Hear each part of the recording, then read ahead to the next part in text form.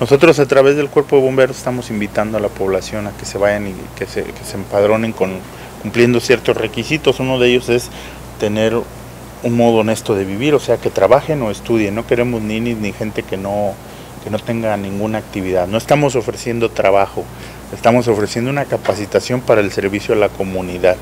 ¿sí? Y tres, que sea gente, y cuatro, que sea gente que en verdad quiera, porque hay que dedicarle tiempo, ¿sí? y una disciplina y un esfuerzo ahí con nosotros. Eh, comúnmente luego se nos acerca gente que no tiene nada que hacer y quiere ir a hacerlo ahí con nosotros. No, bomberos no está para eso. Bomberos de Reverde hemos cuidado mucho esa manera de, de conducirnos y eso nos ha llevado a seguir creciendo año con año, un poquito a poquito.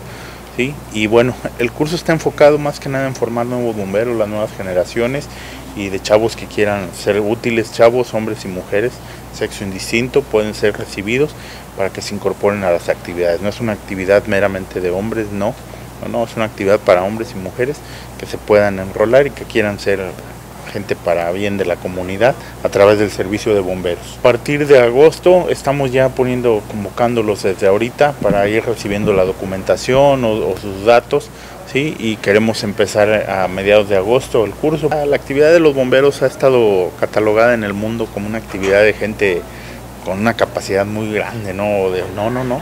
Todos son inclusivos, esto es inclusivo, hay gente que puede hacer desde una actividad en el teléfono, en los radios o dentro de la actividad propia del bombero. Se puede hacer un maquinista, un chofer, alguien que tenga la capacidad de hacerlo y puede ser invitada, pero eso sí quiero dejarlo claro, tienen que saber hacer lo que cualquier bombero.